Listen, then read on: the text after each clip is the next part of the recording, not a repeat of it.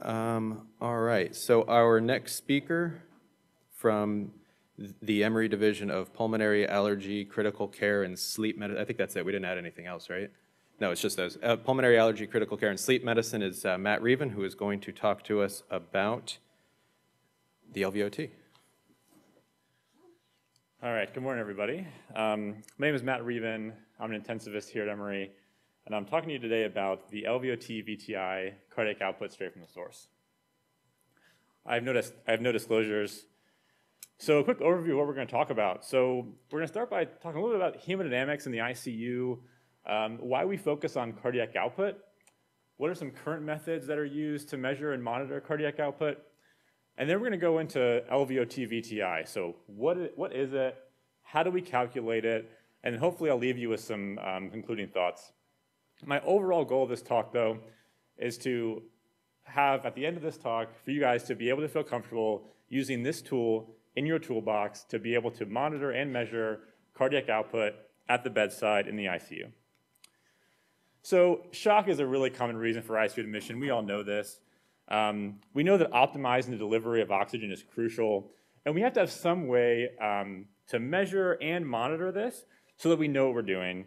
And I'm sure everyone at some point in time was told this quote that the purpose of the ICU is to ensure that air goes in and out and blood goes around and around. And the longer that I work in an ICU, the more I realize that how true this saying really is. But the question is, well, why do we focus on cardiac output?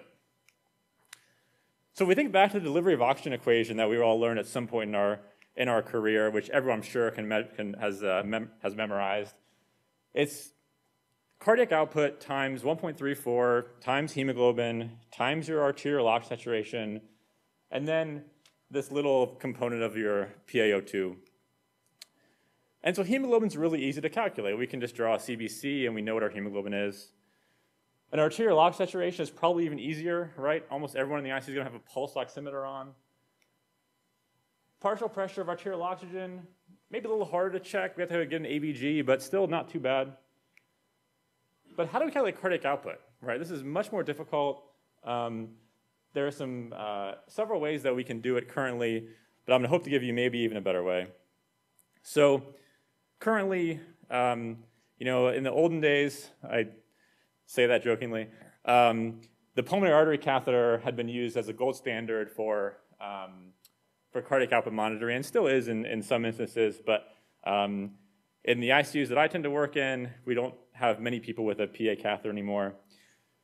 Stroke volume variation has gotten a lot of um, excitement recently with um, using that as well as pulse pressure variation as a way to at least um, trend uh, cardiac output. There are some newer non-invasive cardiac output monitors that use bioimpedance to estimate cardiac output, which in my mind is mostly magic.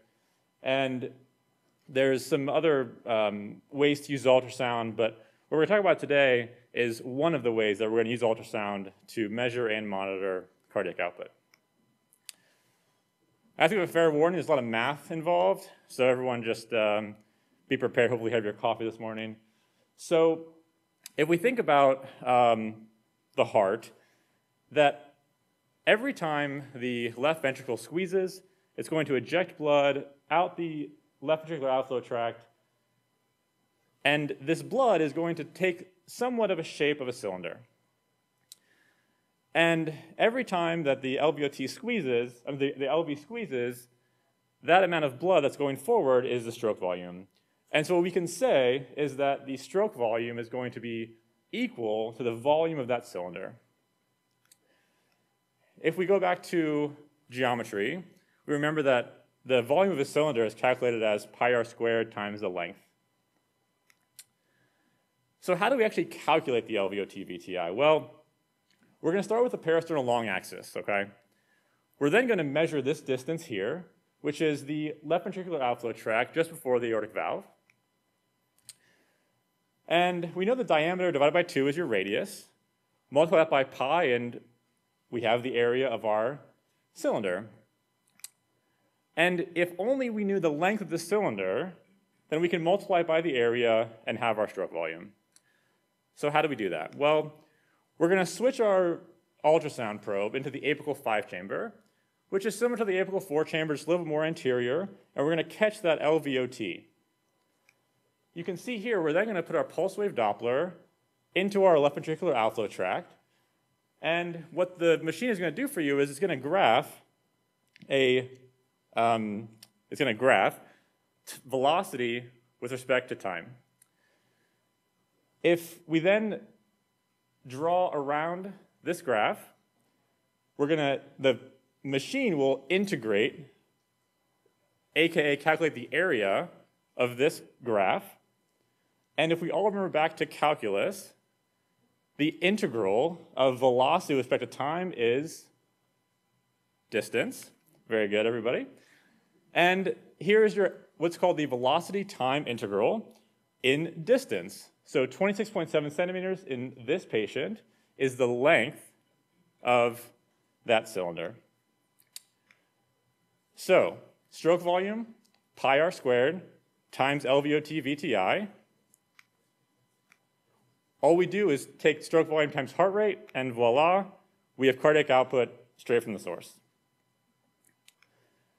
Now, I'm never one to cherry pick data, but this is one study looking at um, LVOT VTI in critically ill patients, showing a pretty decent correlation between your cardiac output as measured with transthoracic, transthoracic echo using LVOT VTI compared to cardiac output via a pulmonary artery catheter. And you can see a pretty decent correlation between the two. So, in conclusion, LVOT VTI is completely non-invasive. It's easily repeatable at bedside. You can do some intervention, monitor your response. And it's useful in conjunction with other assessments.